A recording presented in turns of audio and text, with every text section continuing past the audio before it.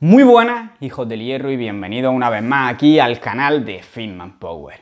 Hoy tenemos con nosotros otra vez a Sheila Mulero de NutriStrategic en redes sociales y en esta ocasión, como ya empezamos a hablar sobre trastornos de la conducta alimentaria, la ansiedad, etcétera, vamos a hablar sobre el hambre emocional y vamos a aprender a distinguirla del hambre fisiológica, es decir, de cuando nuestro cuerpo realmente necesita comer o cuando estamos haciéndolo para sustituir a alguna emoción o para evitar ciertas emociones. Y también vamos a ver cuando tenemos simplemente ganas de comer, que no se debe ni a emociones ni a que tengamos hambre, sino por ejemplo que nos acabamos de hinchar a comer y en realidad pues nos apetece un postre porque están bastante buenos. Y vamos a ver un poco cómo reaccionar a estas situaciones y cómo podemos llevar una relación con la comida que sea lo más saludable posible. Así que espero que os sea de utilidad y dentro vídeo.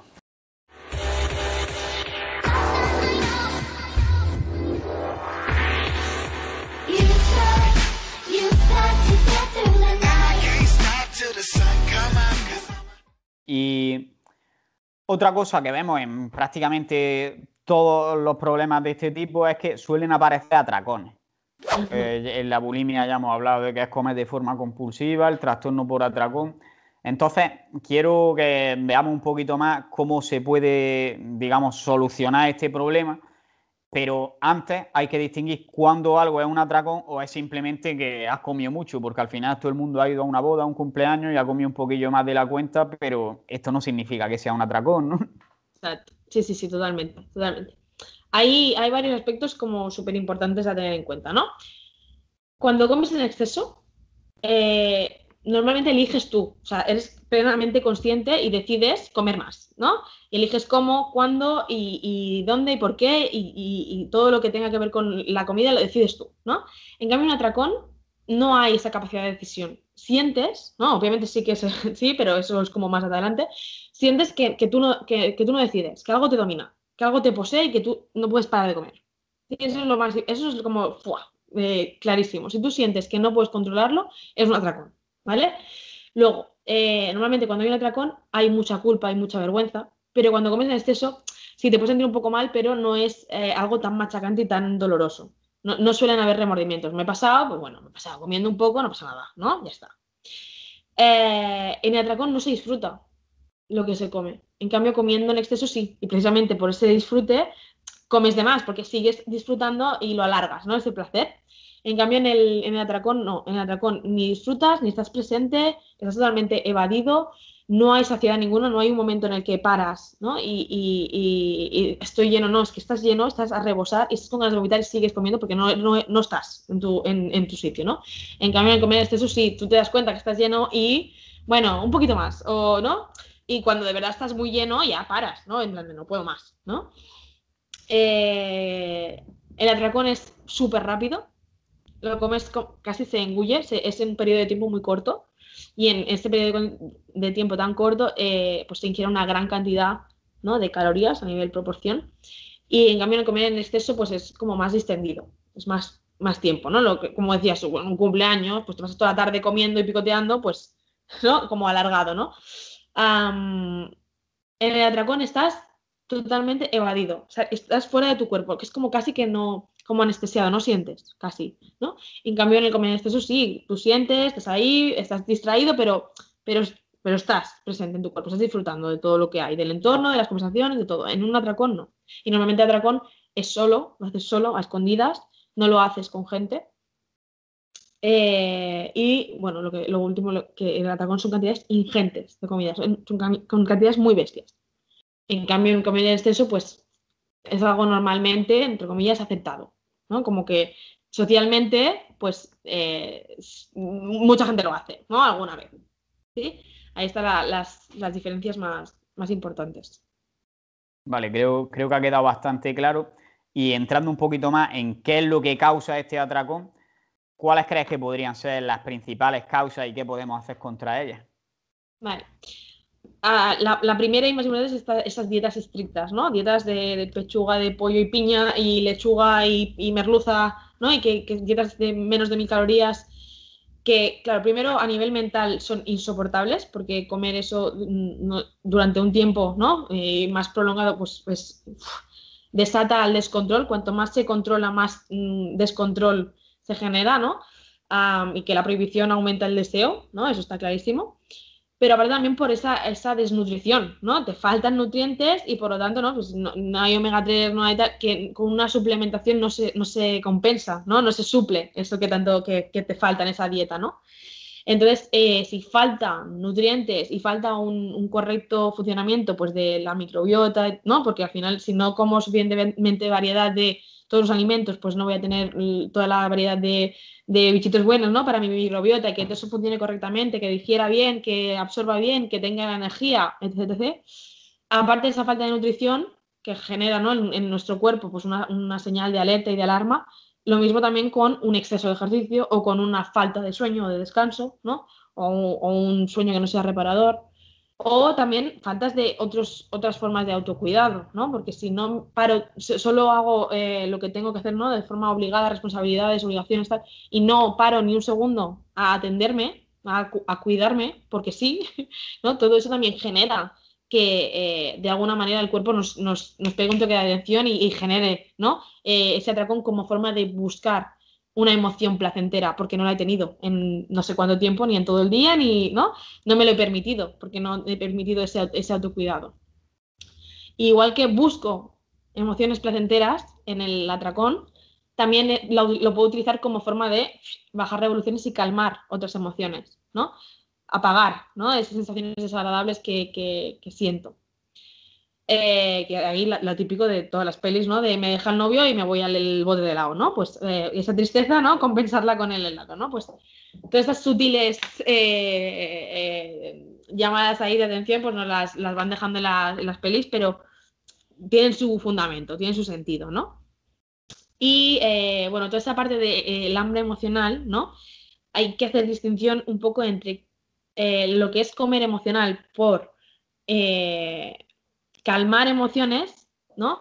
O por buscar emociones, o que esto es lo que ahora está como eh, se está empezando a extender, es entender que cualquier comida nos genera emociones y cualquier situación nos genera emociones, o sea, las emociones están ahí, ¿no? Entonces, ¿cómo yo asocio esas emociones a esa comida? Ahí es donde puede haber o no un problema también. Entonces, el hambre emocional en sí no es malo, entre comillas. Lo, malo es las asociaciones que yo hago a que si estoy triste, ¿cómo? A que si estoy enfadada, ¿cómo? Y que no tenga otras vías de escape, otras estrategias de gestión emocional, de canalización, de, comprensión, de parar, ¿no? Entenderme y darme lo que necesito. Incluso puede que haya a lo mejor lugares o situaciones específicas que sean las que te hacen esa conexión con comer. Por ejemplo, va al cine, pues como palomita. Yo, por ejemplo, con mis amigos lo notaba, iba domingo y después había allí como una barbacoa y siempre se tomaba algo. Pues es como que cuando vas allí, a lo mejor no tienes hambre, pero tienes que comerte eso porque ya asocias que has ido ahí con que vas a hacer esa comida. Y eso pasa en realidad que nos va marcando desde pequeño, es decir, situaciones. Si viene toda la familia, es que vamos a comer más. Y a lo mejor no tiene ganas, pero lo va a hacer porque está asociando esa, esa situación con una comida en exceso. Que no tiene por qué ser un atracón, como hemos dicho, pero ya te está llevando a, comer en exceso en algún modo. Y si tienes una mala relación con la comida, sí puede ser que desencadene luego un atracón. o si tienes un trastorno por atracón. Hay personas que con esa solo por atracón sí que eh, a nivel social empiezan comiendo como en exceso y luego se van a casa y acaban como culminándolo con un pedazo de atracón. Que eso también es el, peligro, ¿no? De esos, esas asociaciones. Totalmente, sí, sí.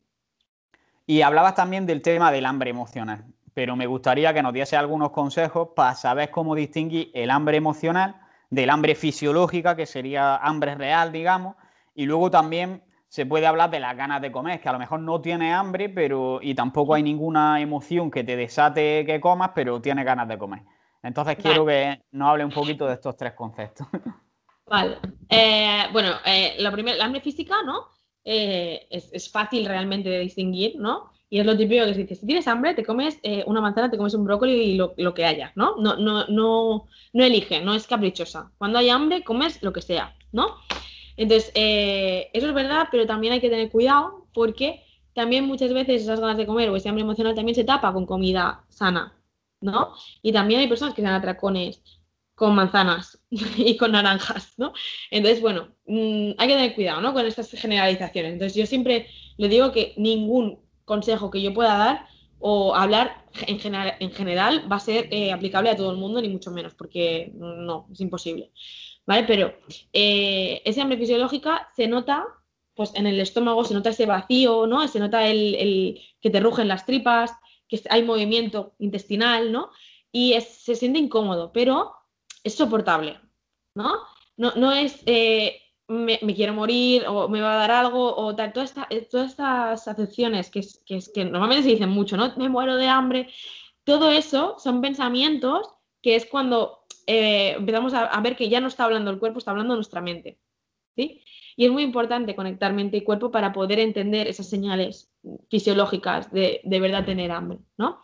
Entonces, pues también es lo, como es lógico, si tú estás suficientemente bien alimentado ¿no? y tienes una buena nutrición en tu día a día, eh, si tú has comido hace relativamente poco, pues hace una hora y media, pues es casi imposible que tengas hambre. Si tienes ganas de comer algo más y seguramente sea mm, algo específico, pues ¿no? El, contexto ya te lleva a darte cuenta de que no es hambre real, fisiológica, ¿no?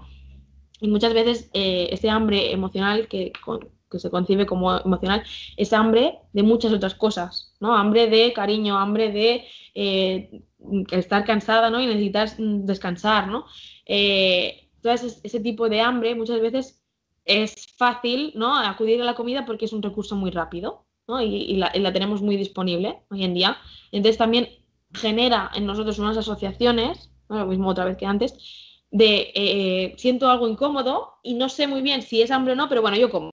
Entonces, ¿cómo? Se me calma, porque en ese momento es algo inmediato, ese placer que, me genera es inmediato, y genero un, reforzamiento a nivel cerebral que cada vez que note esa sensación desagradable voy a ir a comer. Entonces, eh, y cuantas más veces lo haga, más repito ese patrón y más, más fuerte se hace, ¿no? Y más cuesta luego mm, dejar de, realizar esa conducta, ¿no? Que te, que te hace daño. Entonces, bueno, hay, hay un montón de, de, de factores predisponentes que dependen mucho de cada persona, que no, no, no, no te puedo hacer una generalización así mm, base, ¿vale? Pero eh, sí que es importante esta parte de si tú estás bien nutrido durante el día, no, no es lógico que tú en dos horas, tres horas tengas hambre, porque eso es para las típicas dietas de mil calorías que cada mm, tres horas te dan eh, una manzanita y 10 mm, gramos de frutos secos, que entonces, claro, es normal que tengas hambre porque estás eh, generando, ¿no? Que tu cuerpo esté trabajando y haga un, procesamiento de algo que luego enseguida, enseguida los pies, porque no hay nada ahí, ¿no? De chicha, de alimento. Entonces, si tú no haces una dieta muy restrictiva, seguramente no tengas hambre tan rápido si acabas de comer y has comido de forma nutritiva. Luego, eh, si no es algo específico, no tienes un antojo específico, seguramente eh, también sea hambre, ¿no? ¿Qué más? lo de las ganas de comer, que me has dicho. Claro, las ganas de comer entran muchos factores también, que es eh, comer por el puro placer de comer, ¿no? Porque algo está rico. No tengo hambre, pero me apetece comerme algo con chocolate o me apetece comerme mm, lo que sea, ¿no? Entonces, esas ganas de comer hay que también ponerlas en valor, ¿no? Yo creo que hay que hacer como balanza, ¿no? Y eh, buscar un equilibrio. Ni me prohíbo en anticipo comer nada si no tengo hambre, ni eh, el otro extremo de, ala, venga, libre albedrío, me como todo lo que me apetezca siempre que me apetezca, porque entonces, y sobre todo con los ultraprocesados, ¿Qué pasa? Que son hiperpalatables y que generan en, nosotros un, descontrol en el sentido de que obviamente pues están tan ricos que ya lo hacen para eso, porque llevan aditivos, porque llevan azúcares de tope, llevan grasas trans y todo el tipo de, de mejunjes para que tú sientas ese placer tan inmenso y tan reconfortante y que lo quieras sentir muchas veces, ¿no? Porque ¿quién no quiere sentir placer, ¿no? Es lógico que cuanto más placer quieres y más, y más quieras, ¿no? Entonces, claro, eh, pues teniendo eso bien claro, de que habrán eh, eh, alimentos, bueno, bueno, sí, alimentos, vamos a llamarlos, que con esa mezcla de, nutrientes o de, aditivos y demás van a hacer que a mí me cueste mucho más parar de comer y que sepa de verdad si tengo hambre o no, porque al final te descontrola a nivel interno, porque le estás dando una bomba de calorías al cuerpo, pero son calorías, entre comillas, vacías, igual que el alcohol, ¿no? Que no, le aportan nada al cuerpo, no, no, es que digas, ah, qué bien, grasas buenas, ¿no? Porque no hay grasas buenas, no hay... Entonces, todo eso, ¿qué hace el cuerpo? Pues obviamente pues no es natural y no lo va a recibir igual que si me como algo que me genere ese mismo placer, pero eh, pues con ingredientes 100% naturales, ¿no? Entonces, bueno, pues ponerlo en valor, tenerlo claro, ¿no? Sin que eso me condicione ni, ni sea algo estricto ni rígido en mi, en mi mente, porque si me lo prohíbo, aún será más difícil de renunciar a él. En cambio, si me lo concedo, pues sí que puedo, ¿no? Eh, elegir yo. Esto, el típico ejemplo es el de estar en la mesa, has acabado de comer y todo el mundo está diciendo, estoy llenísimo y aparece el camarero, la carta de postres, uff, tarta de galletas de la abuela. Por favor, trae cuatro. y, ese es el típico ejemplo de no tengo hambre, pero tengo ganas de comer, porque normalmente en el postre nadie tiene ya hambre, pero es que los postres lo hacen para que estén tan buenos que al final es una fuente de placer más que de comida, no es, no es un alimento en sí. y hay que ponerlo en valor, ¿no? decir, bueno, pues ni, siempre que salgo a comer fuera me tengo por qué comer postre, porque no, no, no tomárselo nada como rígido, ni estricto, ni tener esa, ese, esas normas que nos, nos, autoimponemos muchas veces, ¿no? Y me gustaría comentar también algunas ocasiones en las que comes por alguna emoción, y voy a comentar algunas que me pasan a mí, por ejemplo, que como un día no tenga nada que hacer y esté aburrido, tiendo a comer más. Y creo que esto es muy común y le pasa a mucha gente. También, por ejemplo, cuando tengo que estudiar y todavía no he empezado y tengo que ponerme, es como que me da pereza y digo, vale, pues voy a comer, que como comer es una necesidad, está justificado, entonces voy a comer y ya tengo 10 minutos más para empezar a estudiar. Y eso es otra cosa que me pasaba mucho cuando estaba estudiando, por ejemplo. Y bueno, ya más allá de eso, pues también está lo típico que ya lo veo que igual no es tan común y, y lo asocio un poco más a comportamientos más que deberían tratarse, que es el tema de cuando, por ejemplo, te ha dejado el novio, cuando te sientes solo, cuando te ha pasado algo malo o simplemente que te da ansiedad por cualquier emoción que sea muy común sentir, porque al final estás aburrido, lo puedes suplir con otra cosa, digamos, pero a lo mejor la soledad pues es más difícil. Sí, sí, total. Claro, al final todas esas emociones están ahí y muchas veces son desagradables de sentir, pues es desagradable sentir, sentirte solo, o es desagradable eh, en cierto momento, pues mm, eso, me da una pereza increíble ponerme a estudiar, ¿no? Pues buscamos eh, pues excusas, ¿no? Para ponernos a nosotros mismos eh, que, sea algo válido, para, bajo lo cual, ¿no? tener esa conciencia tranquila de, bueno, es que lo estoy haciendo porque esto es importante. Primero hay que comer, ¿no? Porque si no tengo, si no como, no voy a tener energía. O, ¿no? De todas estas cosas que no, no, bueno, es que lo necesito, es que esto me apetece, esto es lo que, esto es lo que necesito ahora, ¿no? Y lo que necesitas realmente es un abrazo, ¿no? Entonces, intentamos eh, con esos pensamientos eh, sugestionarnos en, para conseguir calmar, ¿no? Pues eh, todo eso que tenemos ahí, porque a veces no vemos otra vía, ¿no? O no sabemos cómo hacerlo. Y muchas veces también simplemente es pasarlo, atravesarlo, atravesar esa incomodidad de sentirse solo, atravesar esa incomodidad de estar aburrido y permitirse estar así, que eso no es negativo, que eso no, no, me hace más ni menos, ni más débil, ni, ni, es nada malo, ¿no? Y que muchas veces por esa incomodidad que sentimos, no, no, no buscamos cualquier cosa para que sea un estímulo o, o, bueno, o algo en lo que pensar, ¿no? Para, para sobrellevar eso, ¿no? Sí. Escucha cómo suena, voz imposible va a llegar ya, nadie me va a frenar, ahora soy yo el que se va a levantar yo. Escucha cómo suena.